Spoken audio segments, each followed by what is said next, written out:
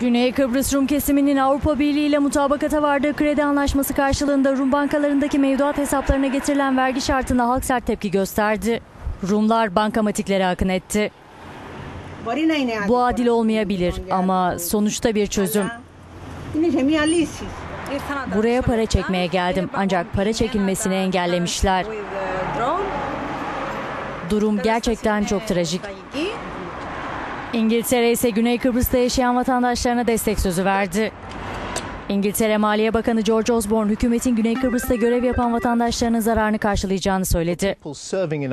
Güney Kıbrıs'ta ordumuzda görev yapan, hükümetimize hizmet eden ve banka vergisinden etkilenen kişilerin zararlarını karşılayacağız.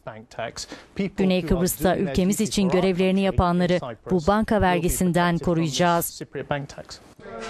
Karara tepki gösteren bir Rum vatandaşı ise parasını çekmesine izin verilmediği gerekçesiyle buldozerle banka şubesine girmeye çalıştı. Rumlar mali krizin bedelini ceplerinden ödemek istemiyor.